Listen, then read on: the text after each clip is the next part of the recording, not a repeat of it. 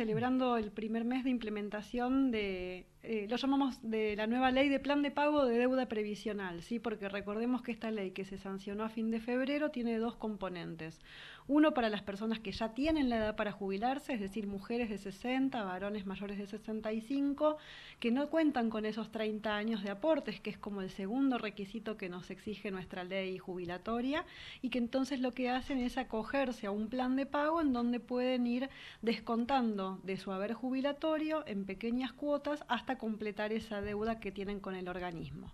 También esta ley contempla una segunda dimensión que tiene que ver con personas que todavía no alcanzan la edad de jubilarse, pero que saben que el día que cumplan la edad reglamentaria tampoco van a tener esos 30 años de aportes, ni aunque continúen en actividad de aquí a ese momento jubilatorio. Eso es lo que nos va, lo que vamos a poder hacer probablemente a partir del mes de junio, es que aquellas personas que estén en esa situación se puedan acercar y podamos armar un plan de cancelación de esa deuda para que no es que se van a jubilar antes, se van a jubilar a los 60 o a los 65, pero el día que se jubilen ya van a haber pagado esa, esa de alguna manera esa deuda que tienen con la ANSES y entonces no se les va a descontar de su haber jubilatorio, sino que ya van a haber cancelado esa, esa deuda que tienen con nuestro organismo. ¿sí? Por eso hablamos de este plan de pago de deuda previsional, porque básicamente lo que hacemos es generar distintos tipos de planes de acuerdo a cuál sea la